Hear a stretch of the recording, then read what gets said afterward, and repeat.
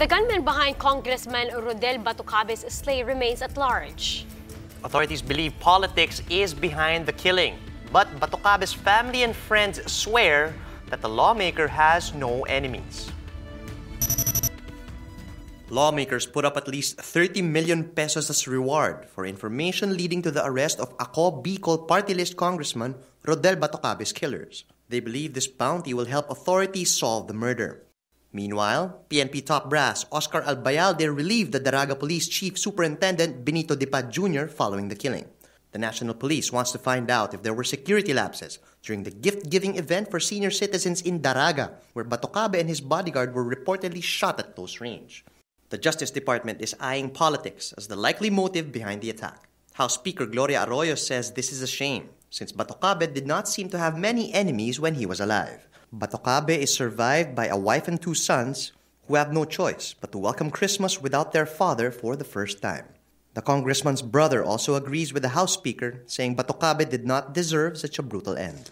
This is the price sa family namin mangyayari. Paskong Pasko. It should be love. Hindi ganitong kabrutal na kamatayan na sinapit ng kapatid ko.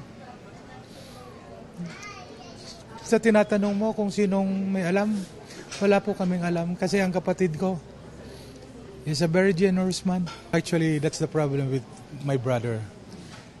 Uh, masyadong confident siya na wala siyang kaaway. Because look at my brother. Wala siyang ginawa.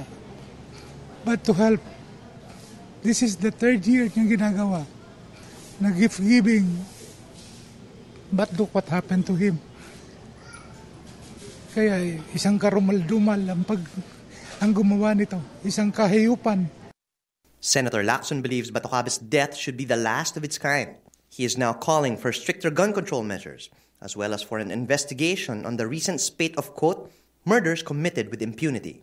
He says the PNP should cancel all permits to carry firearms outside of residence. He adds anyone not in uniform carrying firearms should be apprehended on the spot for criminal intent.